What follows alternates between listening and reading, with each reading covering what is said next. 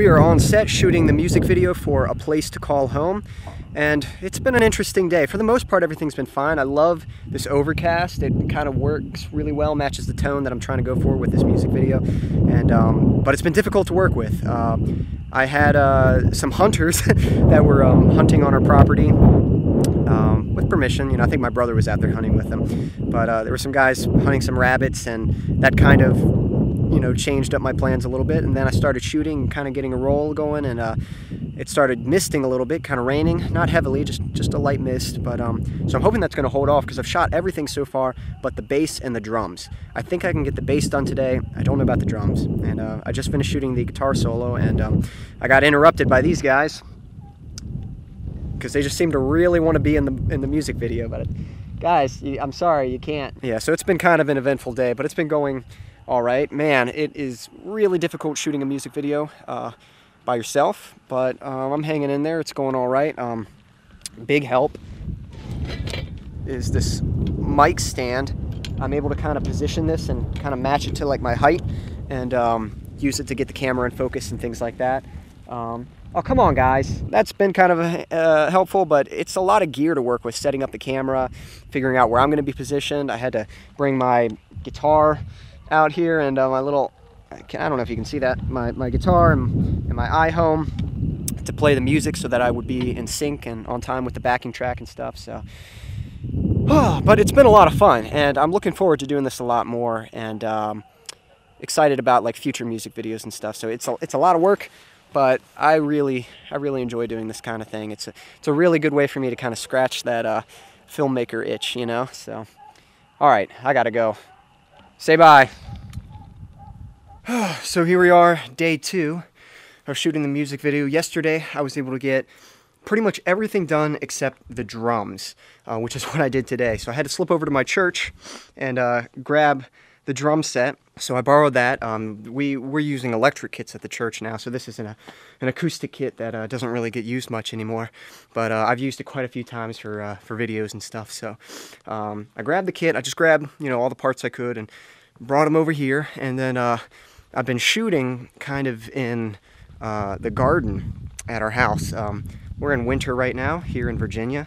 Well, yesterday was actually quite hot. Uh, today is really cold and it's actually hailing a little bit right now. I don't know if you can hear that.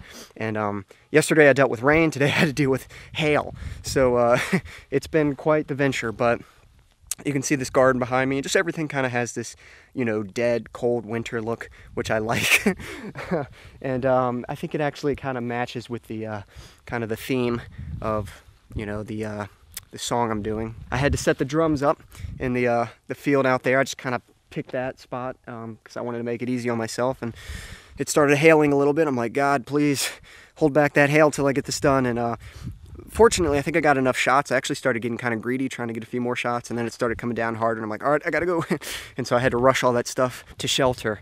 But uh, but it went pretty good. It's definitely not perfect, and but it's been a while since I've shot a music video, and I think the important thing was that I just did it, and I'm looking forward to shooting a lot more. I was concerned with the uh, drums being too loud, and uh, so I took a few precautions. I, had, I taped some uh, some washcloths underneath the cymbals to kind of dampen them. That helped some, um, and I forget what you called it, but I released the uh, little wires underneath the snare um, to give it more that tangy sound um, which I think is a little bit quieter than the full-on snare sound. And then uh, I didn't even have a kick drum. I've got no no pedal, so I just kind of had to mimic the pedal work, and it was really muddy. So I was like kicking into the mud, and it was just it was pretty rough. But uh, but whatever, you know, I got it done, and um, I think I got enough footage to work with, so we'll see. But yeah, it, man, it's been man, it's been eventful. Uh, I'll have to make sure that the next music video I shoot is in a situation where I have a little more control over the environment, you know, uh, unlike you know outdoors where the weather can change. And you know, I had some ideas, but there's only so much you can do by yourself. Hopefully, as I keep doing this, my music videos start to get better and better, and uh, I learn some tricks, and I'll share them with you guys. So, uh, but right now. Uh, not really too many tricks, just uh, straight up effort, you know. Oh, one other thing I will say though is um, for the drums, since the drum kit is so loud, it is difficult to play back to a, a, backing track.